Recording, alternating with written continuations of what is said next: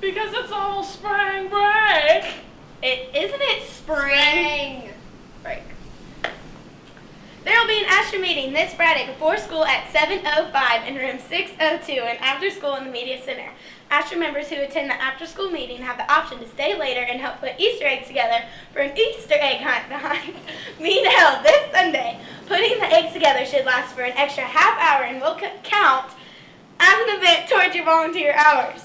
Do you need volunteer hours? Stop by the Career Center, room 602 to pick up information. Congratulations to all the HHS students who have maintained perfect attendance for all three quarters so far this school year. Remember to bring your blue coupon to lunch on Wednesday to redeem your ice cream.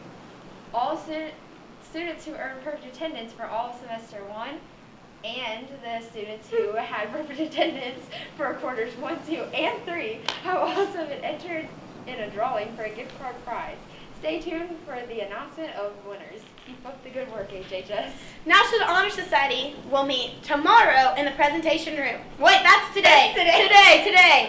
All members should attend to finalize volunteer sign-ups, turn in t-shirt orders slash money, and pay junior and senior dues. If you're planning to attend the 2015 Se- Second Ward Bailey Square Annual Prom Walk on April 25th, please stop by the Career Center, room 602, to pick up a form from Ms. Miller. Reminder students, blood drive forms should be turned into Mr. Napier in room 715 by Wednesday, March 25th.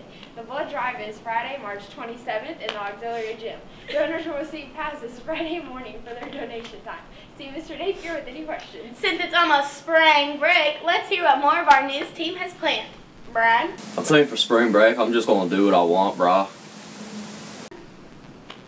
Juniors that are wanting to sign up for senior portfolio art class next year must turn in their application packets no later than this Friday, March 27th, in room 856 or to Miss Dornan. There is a Hamilton Color Guard clinic on today in the Wilson Middle School gym from 6 to 8.30 p.m. Those who participate will perform at MEPA Championships on March 29th at HHS all are welcome to attend. Please register online at hamiltonhighband.org to ensure your spot and flag. Jostens will be here next Thursday, no, this Thursday, March 26th at lunch for cap and gown orders.